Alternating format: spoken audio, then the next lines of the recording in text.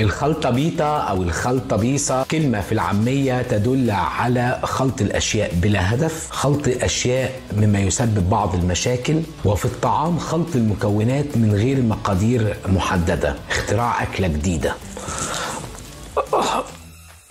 إيه ده هو أنتوا أنتوا مستنيين نقول على أصلها؟ هي الحقيقة ملهاش أصل أو غالبا ملهاش أصل. ده بنسميه في علم اللغة made up word أو بشكل أكاديمي أكتر neologism كلمة مستحدثة كلمة مخترعة. وهو إن إحنا بنجيب كلمة موجودة ونضيف عليها حاجة عشان نغير في معناها زي خلطة هنا وضافوا بيطة أو بيصة عشان يزيد من غرابة الخلطة. مشكلة إن فيلم راتاتوي لما ترجموه للمصري ترجم خلطبيطة بالصلصة ففي ناس فاهمة إن خلطبيطة ده اسم الأكلة ده مجرد المترجم حب يعمل كده. وكلمة خلطبيطة بتفكرني زمان بإعلان مطابخ في التسعينات اللي كان ضد المية وضد النار لما عملوا الإيطاليان ستايل منه وكان بيبيعوه بالتقسيط من غير فوائد فكان بيطلعوا في الإعلان يقول لك بالتقسيطاتو بدون فوائدينو قال يعني إيطالي كده. خلطبيتا خلطبيتا ويجعل كلامنا خفيف.